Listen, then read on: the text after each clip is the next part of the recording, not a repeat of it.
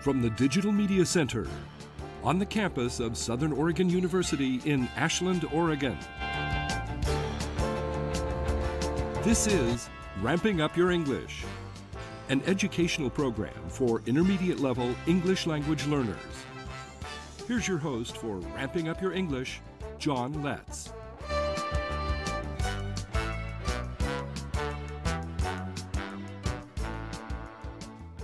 Welcome to Ramping Up Your English, winner of the Southern Oregon Television Award for Best Program and the Award for Best Educational Program.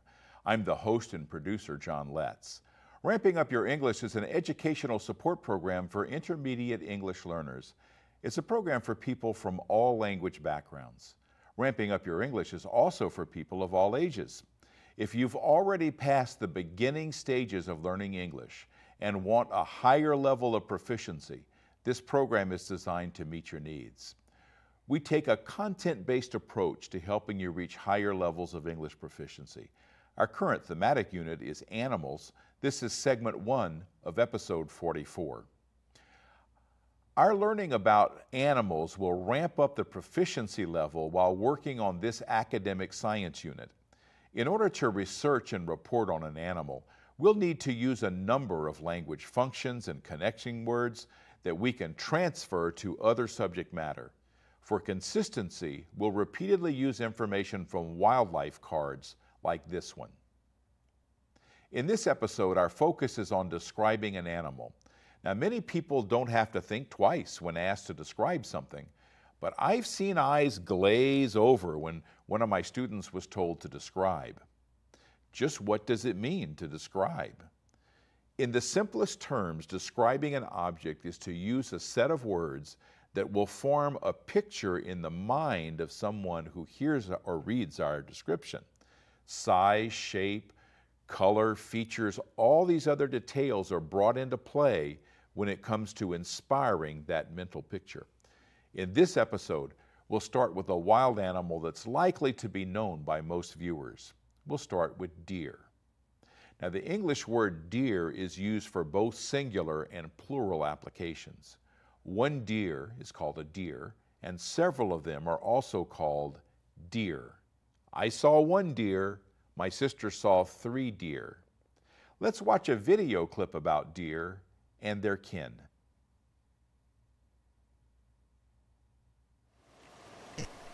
Here in the Pacific Northwest, we're blessed with these wild animals black-tailed deer. Okay, these fawns don't look very wild, and there's certainly nothing ferocious about them. But these forest edge dwellers don't depend on humans for food, water, shelter, or space. And while not aggressive with man or beast, you don't want to come between a doe and her fawns. These slender legs can kick with quite a punch. Deer spend most of their time eating, and their diet is pretty extensive.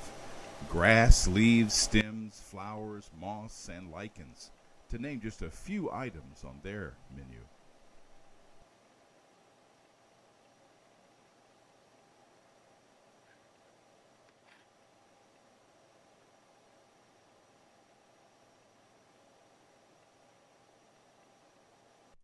Whether reaching up or down, Deer are plant eaters.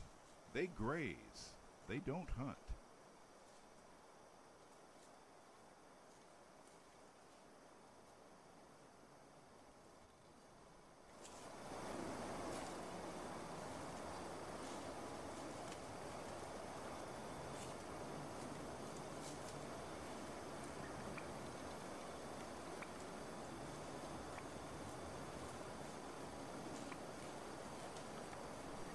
When they're not prey to cougars or wolves, deer seem to get along with all the animals of the forest. These wild turkeys seem to go unnoticed by these deer, too busy grazing to react to their presence.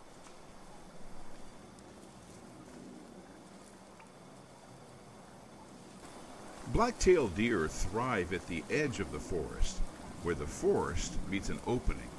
Now this has led some to claim this as a reason to cut down trees. But that's a half-baked idea. the forest is still just as essential as the opening.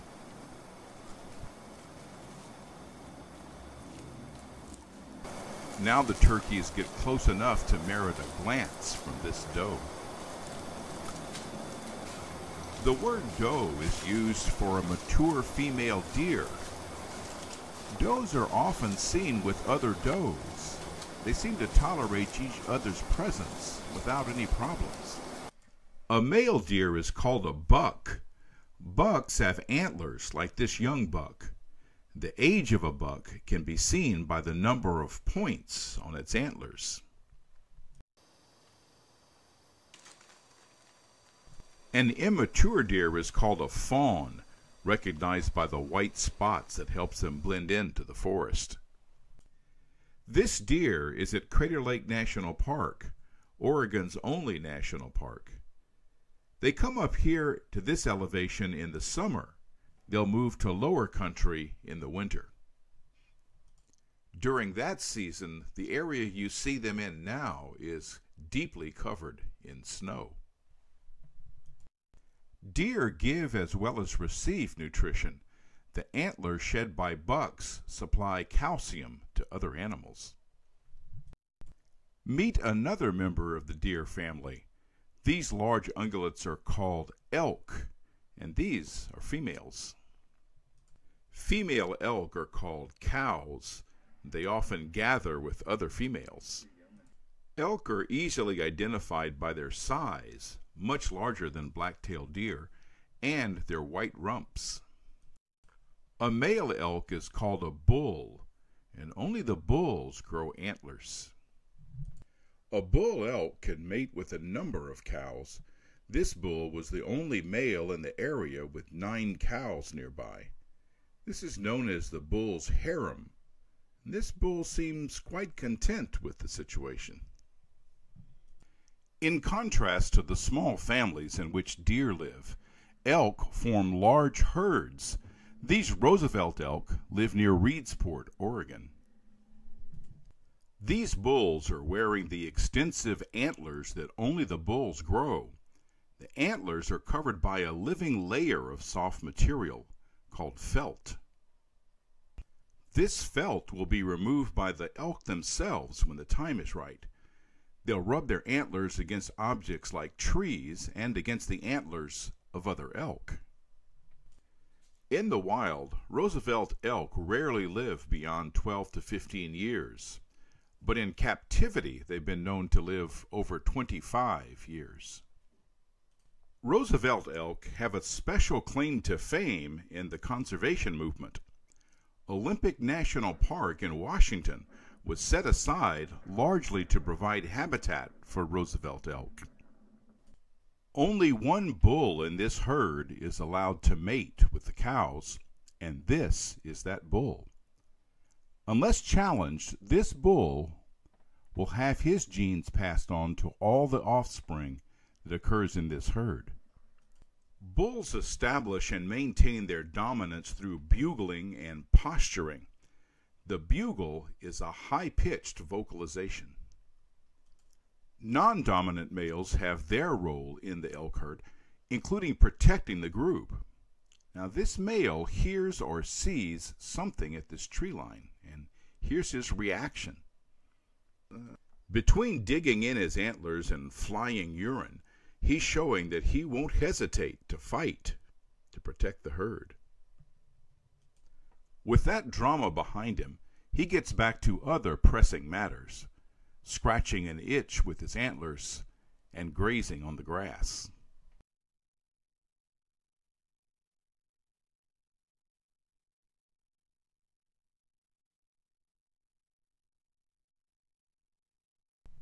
He gives the area one last glance, then he resumes his grazing.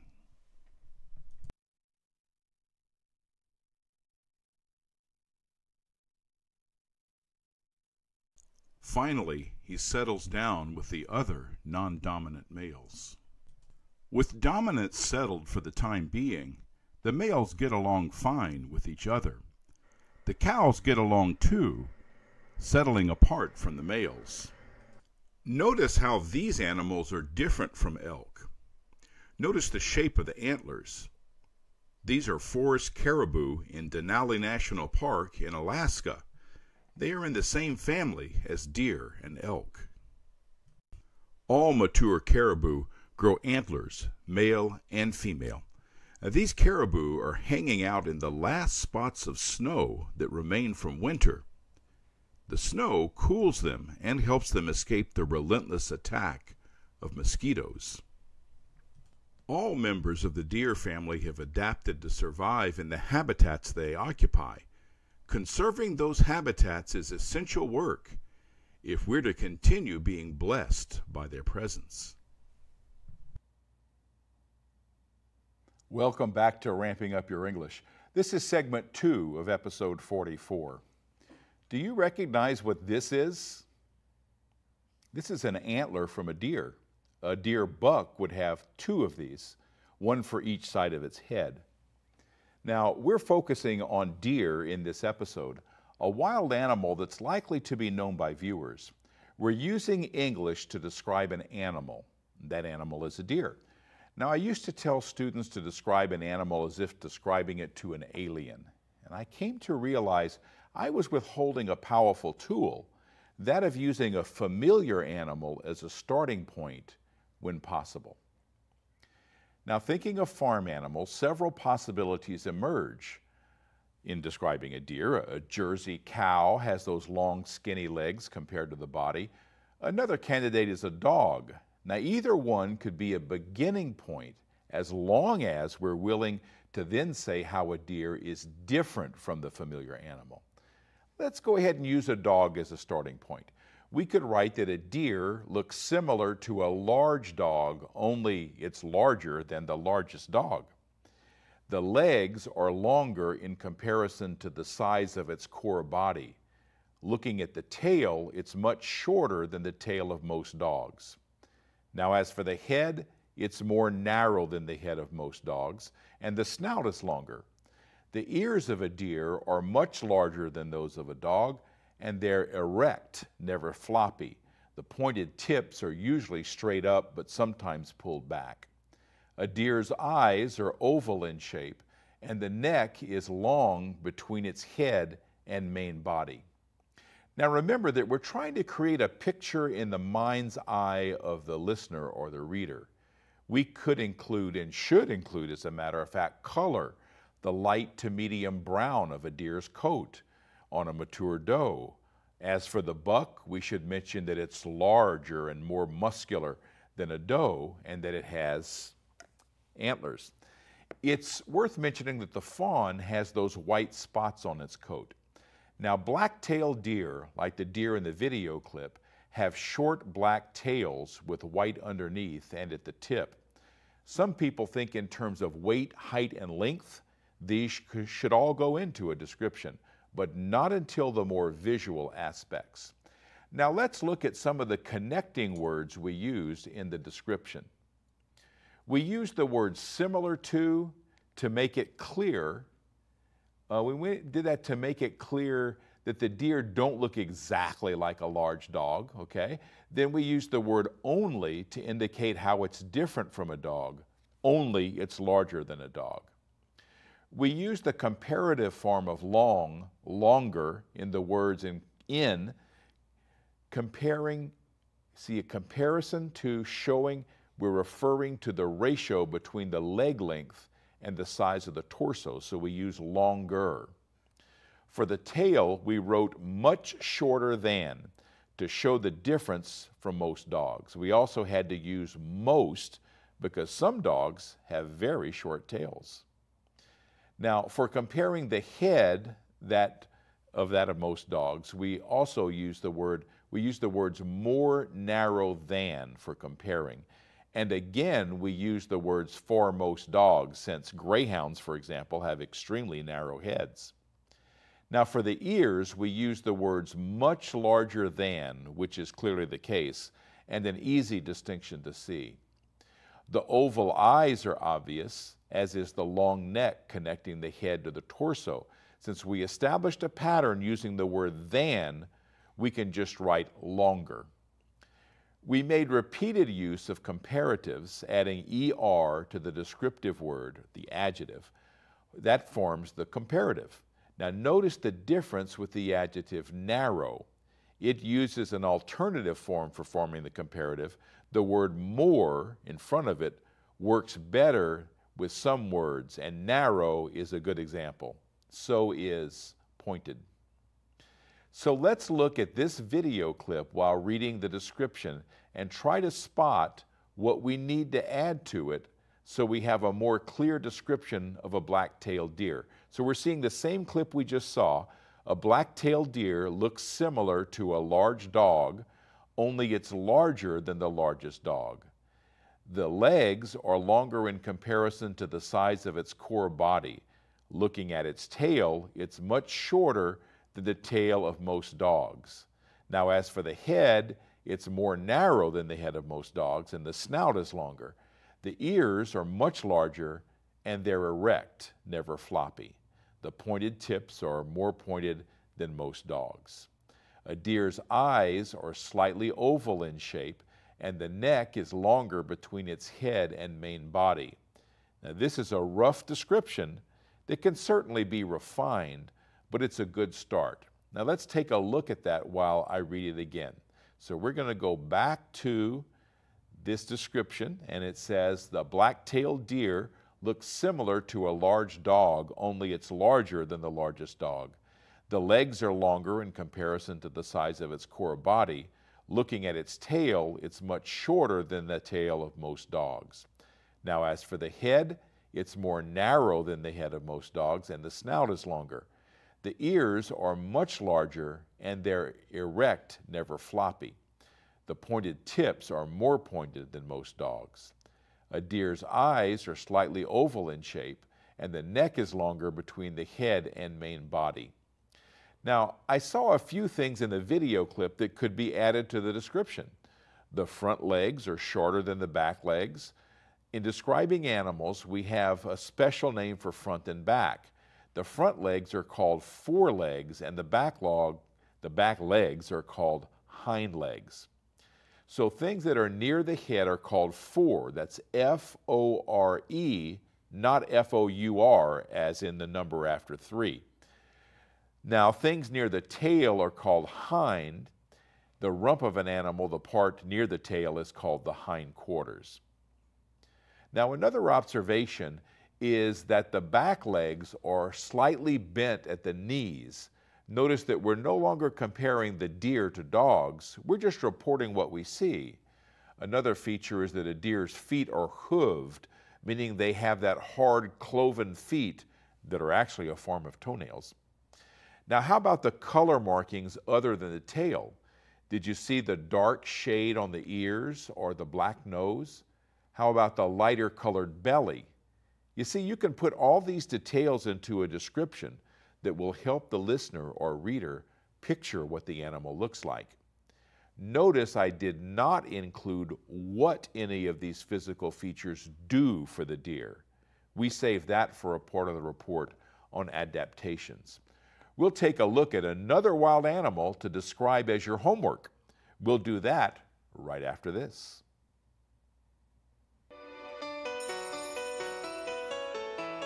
organization that's doing big time restoration of forests and stream banks.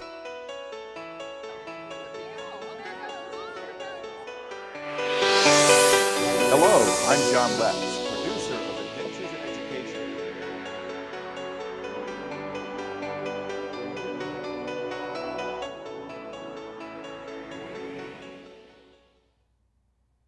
Welcome back to Ramping Up Your English. We're helping intermediate level English learners improve their English. This is segment three of episode 44. Our focus today is on describing an animal for a report. Now, um, if you haven't already done so, be sure to obtain a notebook and dedicate it to this unit on animals. As we demonstrate the patterns used to report on an animal, You'll want to keep those in your notebook as well as the research you find when reporting on an animal of your choice. We're presenting a lot of material and you'll want to access it later. So a notebook like this might be just the thing to have. Now, are you ready for your homework assignment? Well, watch this video and then practice describing the animal seen there.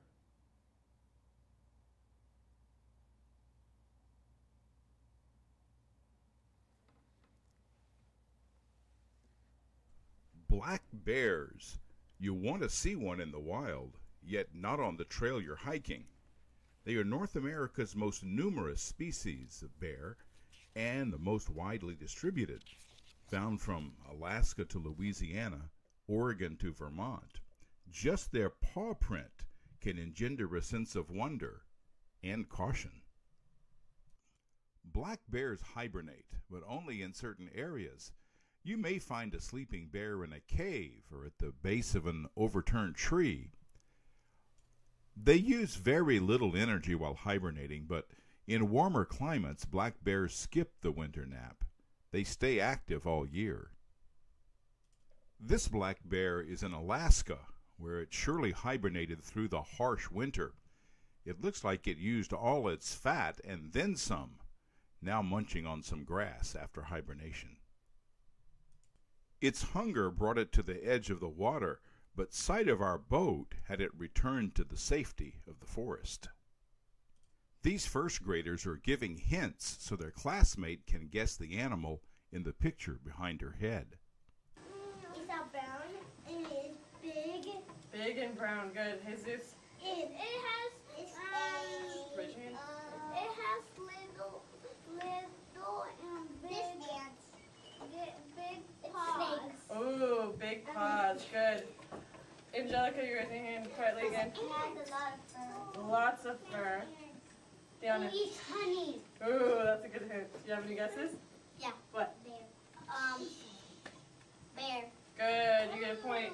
From the safety of a boat, I videotaped these bear cubs exploring the coastline in Alaska.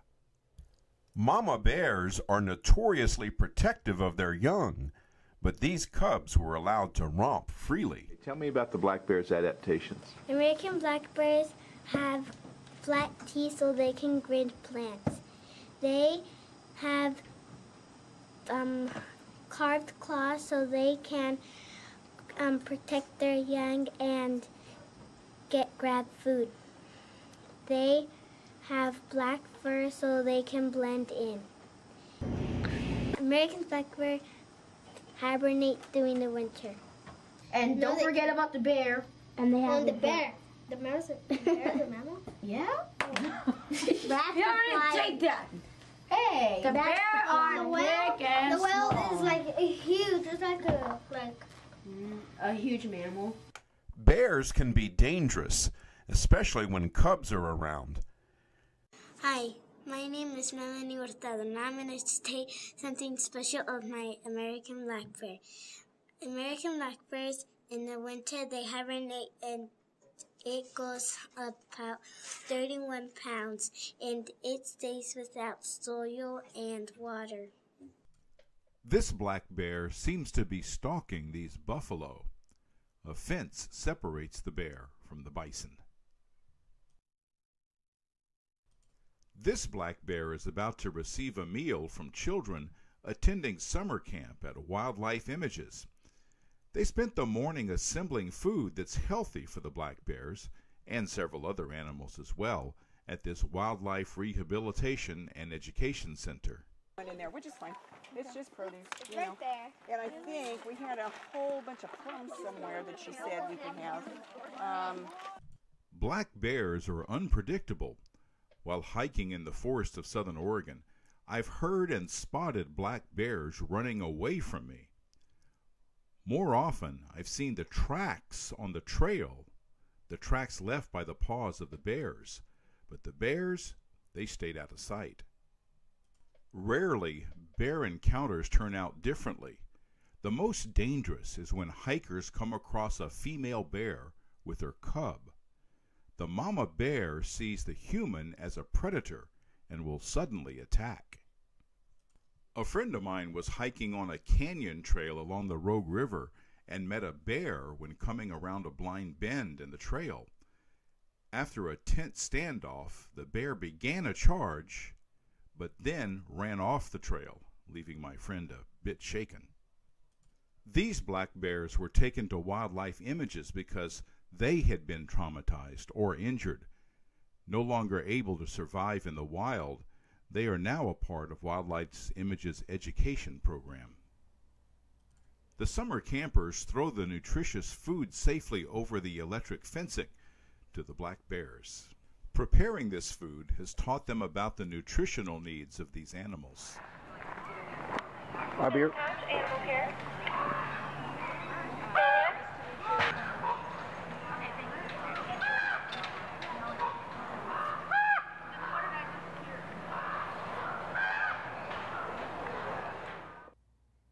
Welcome back to Ramping Up Your English. This is episode 44, Describing an Animal. It's our first step in reporting on an animal. Our homework is to use the video clip you just saw to describe what black bears look like. Now, this is a chance at independent practice. Feel free to repeat the instructional part of this episode or even the whole episode as many times as you want.